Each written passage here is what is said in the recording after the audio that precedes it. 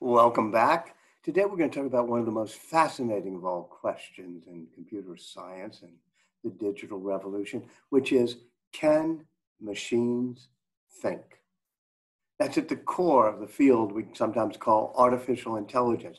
Will we be able someday to build machines that'll replicate humans, maybe even replace humans, that will think just the way humans do? Of course, that goes back a bit to the original question we began the course with, which was uh, Ada Lovelace, who said in her notes on the analytical engine by her friend Charles Babbage that machines will be able to do everything that can be notated in symbols except for one thing. They will not, they, they will have no pretensions whatever to originate anything. They can do what we program them to do, what we instruct them to do. Machines will be able to follow analysis, but they won't be able to originate thoughts on their own. They won't really be thinking.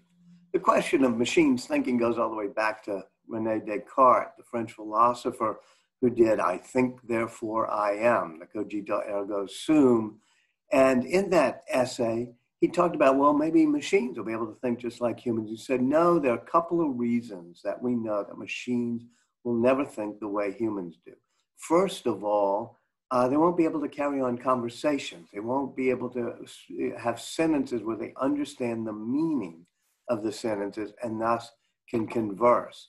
And then, secondly, he said that uh, they would inevitably fail at some actions, even if they did a lot of actions very well. And after a while, we'd realize they weren't conscious. They really weren't true brains. They were just processing material. One of the great discussions about this came when the two heroes of uh, our course from 1937, Claude Shannon on the left and Alan Turing on the right, met at Bell Labs. Turing sailed from England in the middle of World War II, goes over to Bell Labs, and both Shannon and Turing had written papers published in 1937 that had something in common. Basically, Turing said there could be a universal computing machine based on on-off switches, do all logic with yes, no, yes, no, and even determine what problems were unanswerable. Shannon figured out that you could do that type of uh, logic, that type of algebra in circuits, circuits that had switches that turned on and off. And because a, a machine, they felt, using binary instructions could tackle not just math, but all of logic, then at least to them, maybe machines could be like human brains because in theory, that's what human brains do, is just logic. And so machines could replicate human intelligence.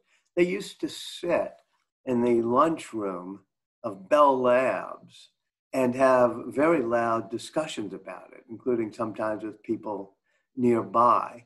At one point, Shannon says about Turing, uh, he wants to put data into a machine not just data though. He wants to add cultural things. He wants to play music to it. He wants to teach a machine how to do music. And people said to turing are you trying to create a powerful human brain? And he said no i'm not interested in developing a powerful brain all i'm after is just a mediocre brain something like the president of at&t being the person who ran bell labs sometimes we think of um, machines thinking uh, but I think of chess playing machines. Like, can we develop a machine that can play chess, which of course we now have? Well, chess is just a pure rules based game, so that doesn't get us very far. Uh, this picture here is a bit of a joke because it was something called Mechanical Turk. It was one of the first chess machines that could actually play and beat humans. Uh, the little trick was in that box below, it was actually a real human picking out the chess moves and figuring out what to do. Now, you know, by brute force, we've created machines that can pretty much process 50, 60, 70 moves in advance and just figure them all out and basically win at chess. Uh, when they took the uh, game Go, the uh, game, the Asian game Go, which is even more complicated. It took a while for a machine to be able to win at Go. It was called a machine called AlphaGo. And the way it worked was it was not just using brute force, it in, instructed itself. It was machine learning, as we call it. In other words, it would just play hundreds of thousands and then millions of games and learn what worked and what didn't rather than try to figure out you know various uh, rules or algorithms for doing it uh, so this caused uh, i mean early on turing was thinking if you want to really do an intelligent machine you don't do it by trying to program in every possible answer you have a machine that doesn't just do what it's instructed to do, but it can teach itself. It can learn itself. Uh, just like a pupil who had learned from a master, is what Turing writes, but uh, adds much more through their own life experiences. In other words, you let the machine just go observe and do things, and it begins to learn in a way that eventually, if it's powerful enough, will replicate everything humans know.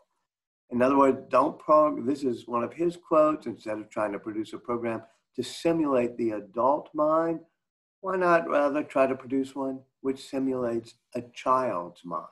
Why? Because a child can go out and learn. Uh, he joked in one of his papers, you couldn't really send uh, this computer out to a school to learn because other children would make fun of it. But you could have a system where it got rewards and punishments. It knew when it got things right, knew when it got things wrong, and from that would figure things out. Uh, this leads to a great debate in England. I mean, the British love this sort of thing. And so during the 1940s, when Turing is uh, discussing these things, uh, there is a debate about whether or not uh, he's right that a machine can think. Uh, at one point, uh, a guy named Sir Geoffrey uh, Jefferson, a great medical researcher, said until a machine can write sonnet or compose a concerto because of thoughts and emotions felt, and not by just the chance of the fall of symbols, could we agree that a machine equals the brain? In other words, if it could do something artistic. This is something that Sir Geoffrey Jefferson said in a lecture trying to refute some of Turing's ideas. Turing writes a letter to the Times of London and says the comparison is perhaps a little bit unfair because perhaps a sonnet written by a machine will be better pre- appreciated by another machine. Uh, he was sort of joking, but he was saying, hey, why do we think that our form of intelligence or our tastes uh, are usually the best. It ends up that in 1950, he writes one of the most famous and still the most cited articles in the whole field of uh, artificial intelligence and consciousness. He writes a piece called Computing Machines and Intelligence. And it has a wonderful opening sentence that says, I propose to consider the question can machines think. And as you see by the title of it there, uh, that section, it's called The Imitation Game. Later on, he has another section called Ada Lovelace's Objection, in which he takes on Ada. But first, let's look at The Imitation Game. Uh, that, of course, was the name of the Benedict Cumberbatch movie in which he plays Turing. And the notion of the imitation game that Turing came up with is you take a, a guy, take somebody, a guy or a gal, and put them outside two doors. And that person gets to send in questions to each of the rooms, sends in questions to the rooms, and tries to figure out from the answers what's in the room. In one room, you have a person. In the other room, you have a computer. And he says that if you can't tell after a certain amount of time whether you're conversing with a computer or with a person, then there's no logical reason for you to be able to say that the machine isn't thinking. If you can't distinguish between what a machine does and what a human does, then you have no evidence, no empirical reason to believe that the machine and the human aren't doing the same thing. And so, what he would do in the imitation game is come up with ways to figure out what is the human. For example, uh, this is in his paper. He said, here's some examples of a conversation that could occur. Uh, one of them was, please write a sonnet on the, uh, about the Forth Bridge. And the answer you get back is, count me out on this one. I could never write poetry. And then you send in a question, add 3,400, 957 to 70,764. And after about 30 seconds, machine spits out an answer. Say, do you play chess? And yes, and you give it a chess puzzle. And after a pause, the machine says, all right, here's the move I would make, and it would be checkmate. How do you figure out whether that was a machine or not? Well, you know, couldn't write poetry. Was that a human saying that? Uh, by the way, look at the addition problem carefully. Whatever it is, a machine or a human, they get the answer wrong. Does that prove it's a human? Or maybe it's a machine that knows how to fake being a human. And even that question of writing a sonnet. You send in a question, say, shall I compare, uh, write uh, in the first line of your sonnet, which reads, shall I compare thee to a summer's day? Wouldn't a spring day do as well or better? And the answer comes back, it wouldn't scan. Well, how about a winter's day? That would scan all right. Yeah, but nobody wants to be compared to a winter's day. What Turing is doing is showing a type of conversation. And as you look at these conversations, as you think about them, maybe you're not sure whether it's a human or a machine doing it. And he poked at the pretensions of all those people who prattled on about sonnets, but also about consciousness.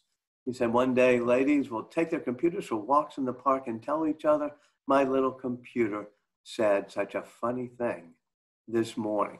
There were some theological objections, uh, people feeling that only God has bestowed, could bestow a soul and thinking capacity, and he does it only on humans.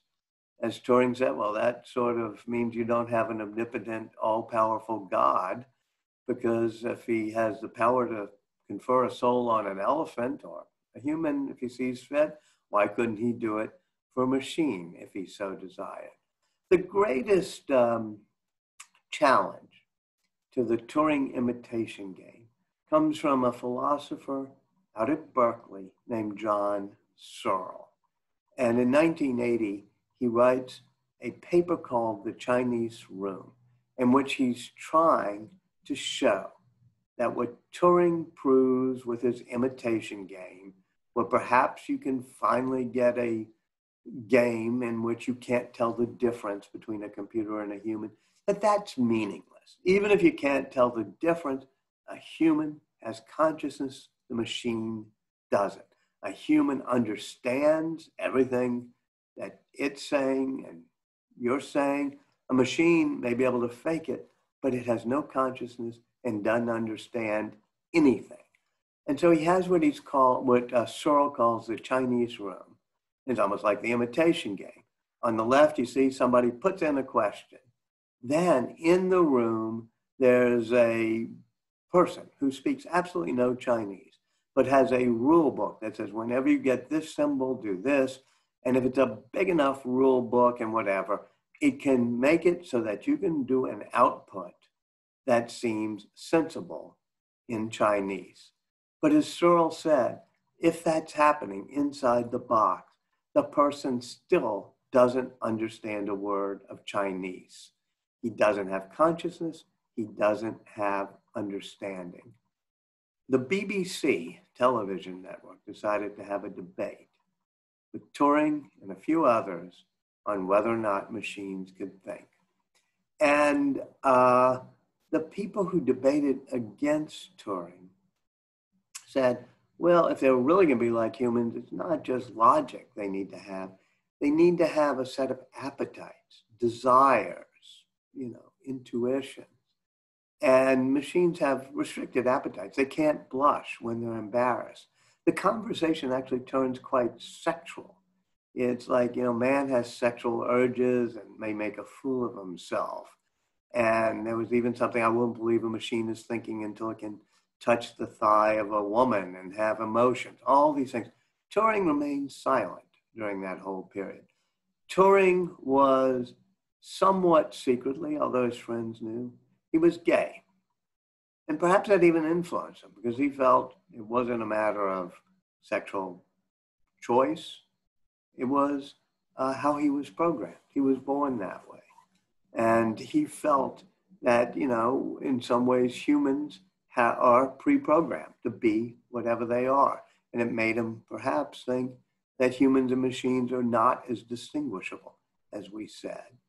Uh, in 1954, right after that debate, Turing commits suicide by biting into a cyanide laced apple. He had been convicted of gross indecency for having picked up a male uh, friend and uh, they had an affair and the male friend turned against him.